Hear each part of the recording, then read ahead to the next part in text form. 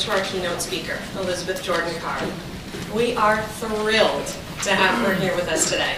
If you don't know, Elizabeth is and became the first baby born through in vitro fertilization here in the United States in 1981. Because of that, she's been followed and watched by the press since her birth. She attended her first press conference at the age of three days old. She's been on the cover of Life magazine as a baby and even had cameras following her around at high school football games. With all that media attention, Elizabeth has put it to good use and became a journalist herself. She's currently the social media marketing manager for the Boston Globe, boston.com. On Being Normal is the title of Elizabeth's speech today, and we are thrilled to have her here. Please join me in giving a warm welcome to Elizabeth Jordan.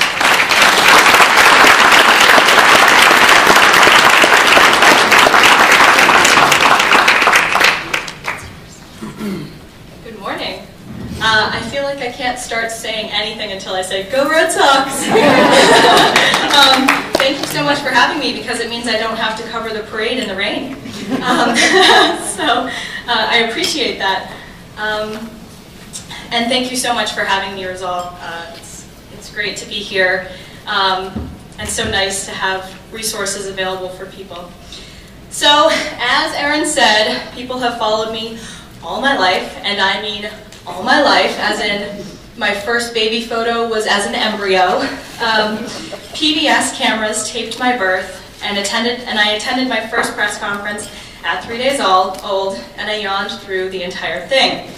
My baby face appeared on the cover of Life magazine, and my stories have appeared in newspapers worldwide, including the Boston Globe, where I now work, which isn't awkward at all.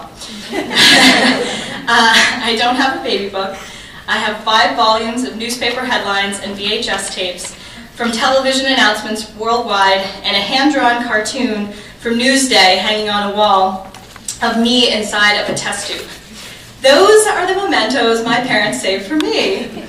I, on the other hand, have saved totally mundane things for my own son to look through when he's older. A tiny onesie, his favorite hat, a red blanket with white and red caterpillars on it. Me, my parents saved the dress that I was baptized in and gave it to the Smithsonian because, well, the museum asked for it. That's my normal. I didn't ask to be America's first test tube baby, but in 1981, on December 28th, it just happened. My parents and doctors, however, did all the hard work. I just showed up. In school, friends knew I was in vitro, but they didn't quite know what that meant.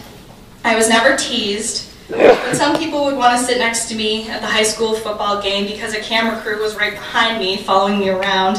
And it's a little bit embarrassing to go to the prom and have your date pick you up with the cover of Life magazine in the front hall, and they're looking at you, and they're looking at the cover, and they're going, oh, okay, this is happening. um, so when you go to a supermarket and you see your face on the cover of a tabloid and your college roommate says, is that you? And you have to say, yes, it is. Although I've been the subject of news reports for as long as I can remember, I've always wanted to tell the story of medical reproductive technologies that no one's heard. It's a story about being perfect and about trying to prove that you are worth all the effort and that you are actually normal. It's a story that I was born to tell. The starting point for me begins with Operation Santa Claus. That was the code word for my highly anticipated and highly orchestrated birth. At Norfolk General, the hospital where I was born, personnel had to have a special badge um, for clearance to get into the wing of the hospital that was closed off for my mother, where she had a room. The press was given a fake description of my father so that he could come and go without being questioned. And as a journalist, I keep wondering, was my father stealthy or were the journalists just not as dogged as I would have been to figure out who the husband was? News vans with giant satellite trucks took up the entire parking lot and lined a block where the hospital stood. By her own admission, my mother didn't know she was going to be the first woman in the U.S. to have an IVF baby when doctors Howard and Georgeanna told her as much. If it were me, and I was delivered that news, I would have panicked right there on the spot, but somehow my parents did not.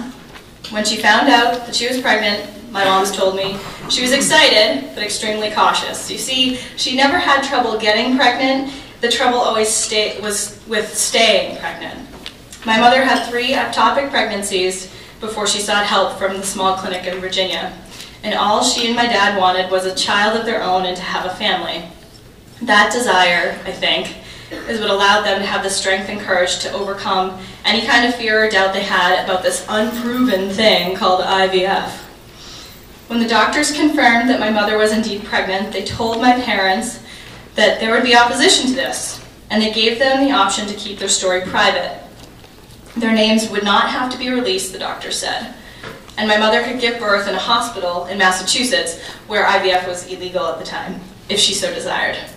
But my parents decided on the spot they didn't want to keep their story private. They felt that if their face and journey against infertility could overcome could be overcome through technology and it would help just one family, that they too could have a child of their own, then the lack of privacy would be worth it. So they decided they would have their baby in Virginia since it was home to the cutting edge technology where other states had banned it. Growing up, I always knew my parents were strong and brave, but now, as an adult, I know just how strong and brave. In fact, my mom came with me today. Wave hi, Mom. I'd love to embarrass her as a daughter.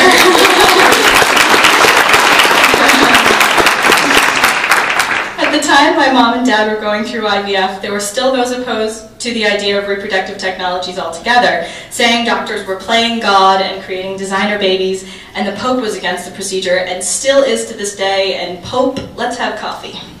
Uh, the process of IVF seems almost simple when I explain it to people now. An egg and a sperm were fertilized in a petri dish, and then once the sperm had fertilized the egg, it was put back in the mother's womb, and ta-da, out pops a normal baby nine months later. It seems downright, uh, you know, medieval at this point. And that's just one procedure. There are so many options now that weren't even around. FET, GIFT, and ZIFT, and to those on the outside, they're just acronyms, but here in this room, they're real, viable options. My parents thought of adoption too, which comes with its own struggles. All of the people involved in Operation Santa Claus knew they were going to witness history. History that would either further assisted reproductive technologies in the United States or effectively end it. No pressure on me.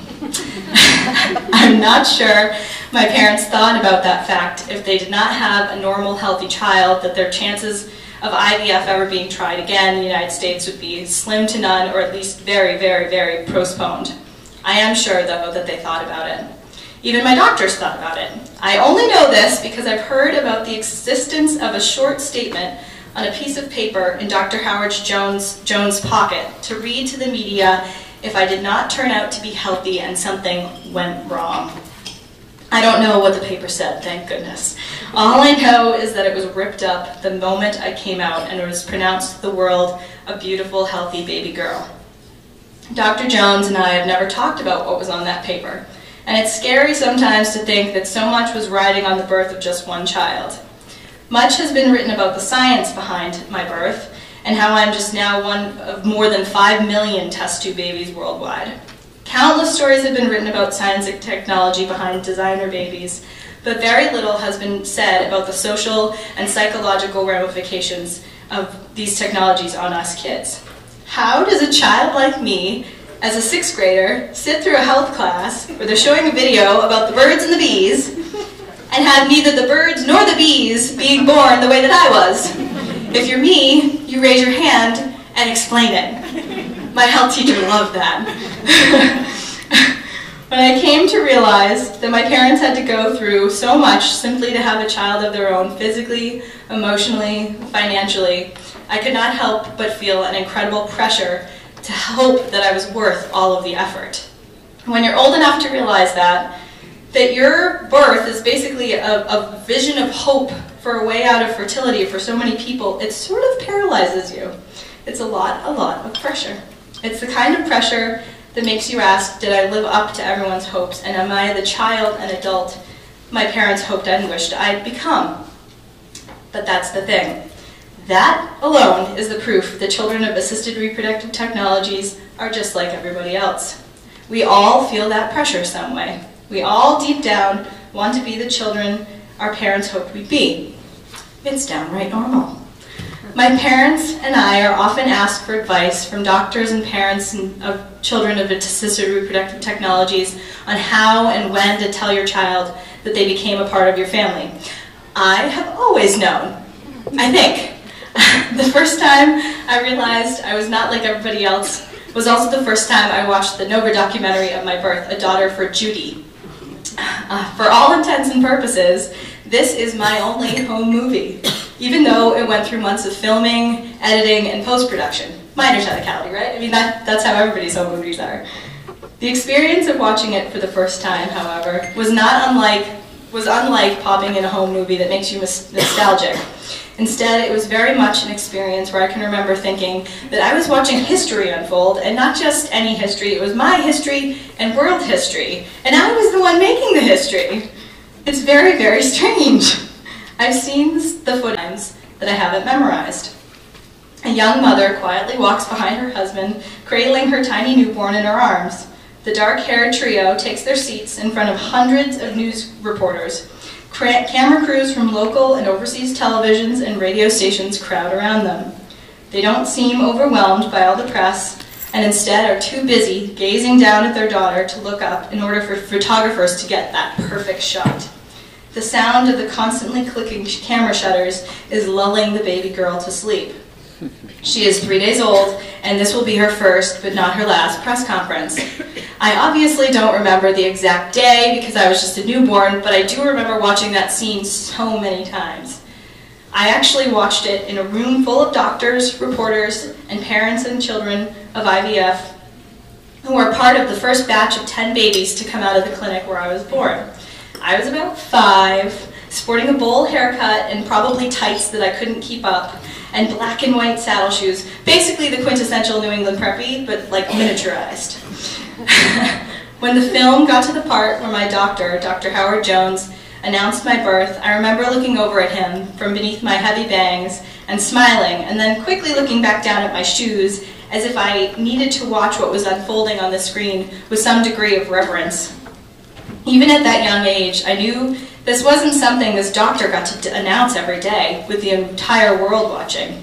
This morning at 7.46 a.m., a daughter was born to Ms. Judith Carr, a 28-year-old school teacher, and the father, Mr. Roger Carr, a 30-year-old mechanical engineer, the footage played. I remember thinking that there was no way that little baby was me, because I was just an average little girl, and judging by all the fuss that people were making over this baby, this baby was special, and she was the first. When the documentary was finished, I remember everyone in the screening room turning around to see my reaction. That moment when all those people turned around to look at me, that's when it happened. That's when I was asked the weirdest question I've ever been asked. What did I think of watching a documentary on my own birth? For a five-year-old, it's kind of a meta question. I remember fidgeting in my seat between my pioneering doctors and swinging my legs while I searched for a good answer. What did I, a little girl who was the central character of this history-making event, think of herself? Looking back on it, I know there's no actual good answer for such a bizarre question. The adult in me, the one with the outrageous sense of humor and tendency to go for big laughs, looks back and wants the five-year-old to say something ridiculous like, where's my modeling contract? Or, what, did we get the cheap seats? But the five-year-old with the bowl cut and the bunchy tights, of course, did not shout anything of the sort. Thank goodness my mother would have been mortified. I think part of me must have known that everyone was looking at me to utter something poignant or profound about my own existence. Every reporter in the room that day had their eyes trained on me. They noted every fidget, every giggle, and every blank stare on my face. When it was over, I turned to my team of doctors who had surrounded me for the screening and answered that ridiculous question in the best way that I knew how, with my own simple question. Are all babies that slimy when they come out? Everyone laughed, and the reporters scribbled furiously. It was, of course, the perfect quote. Heck, it was almost normal. What I know now that I didn't know then is that every family going through infertility has a moment like that a moment where it becomes clear that this is their normal. Today, I hope you all find a path to your normal, and you've got great resources here to do it. Thank you very much.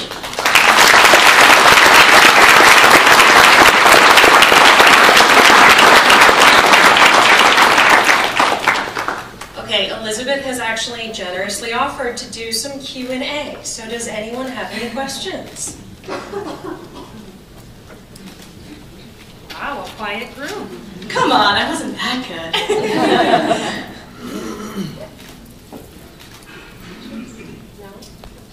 Are you still in touch with Dr. Jones? Yes.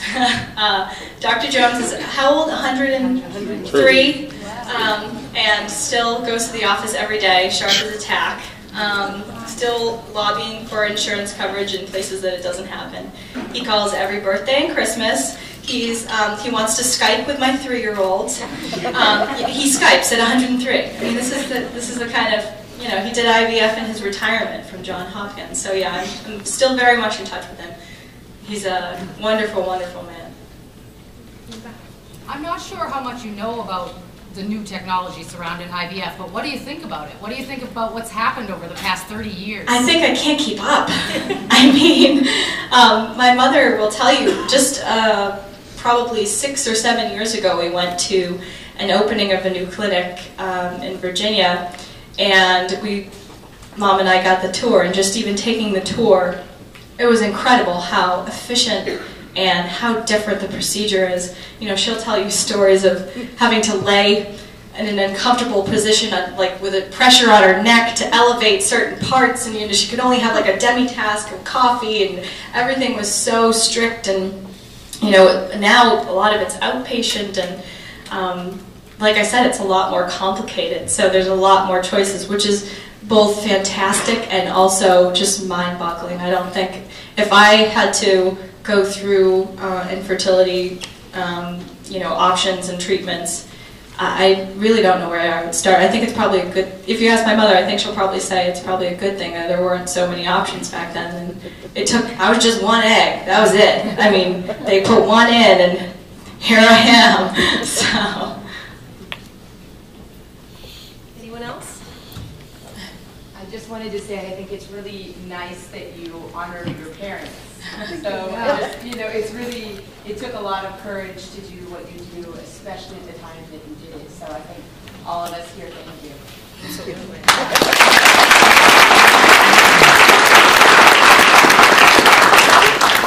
I was thinking that as an IVF mother, as someone who went through it, that you're a pioneer, that you did something for us, a lot of us in this room, that might not, might not be happening if it weren't for your bravery. So thank you. We're gonna get Judy up there. She's a good date.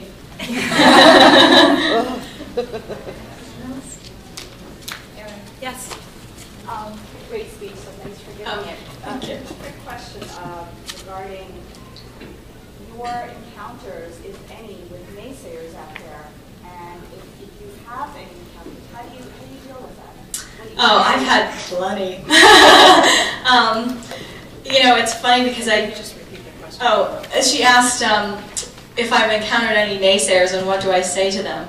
Um, and so, you know, I, especially being a journalist, it's not like I've gone on to live a you know quiet, um, very private life. Um, and so um, it's very easy to find me. If you want to email me, my face and name and phone number are plastered all over um, various news websites all over the world. So um, I often get comments that, um, you know, I'm a child of the devil and, you know, things like that. Uh, and I always have the same reaction. Um, I can understand, um, you know, really having a moral problem with um, not natural birth. I understand that from a logical or a religious standpoint. Um, but really, what it all comes down to is there were two people, my parents, who wanted to have a child. It didn't matter if that child was adopted, it didn't matter if that child was an IVF baby, it didn't matter how many years or how long it took, they just wanted to have a family. And that's what they got. And ultimately, to me, that's what I stress to people is that, you know, there's nothing more natural than wanting to have a family and become a mother. So, um, And you know, it's funny because I also, people always ask me, um, did I have a, a normal child? Which always cracks me up because I'm not normal. Um, but I, I had a natural birth. I did not go through IVF or anything to have my son, but when I was little, I always thought that that's how you had kids. Like, it didn't occur to me that that wasn't the optimum way to have a child. I just figured I'd have an IVF baby, just like my parents did, you know, whatever, I'd go to Virginia. It, it just never dawned on me until I was at least like 13 that it was like, oh, right, okay, there's another way to do this. So.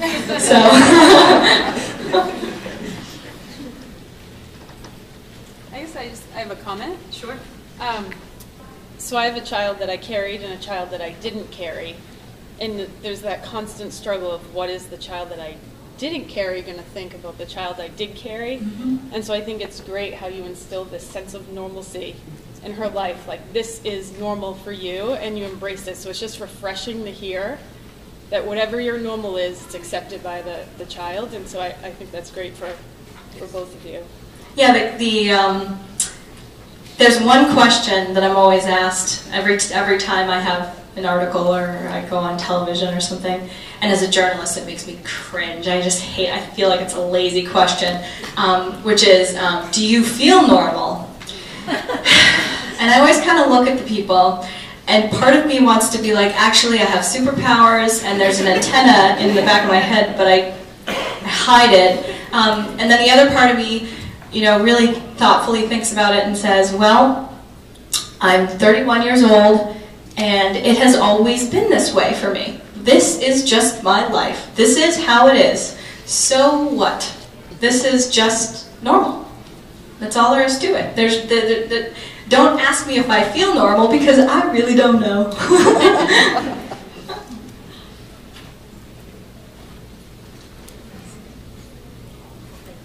Thank you all so much.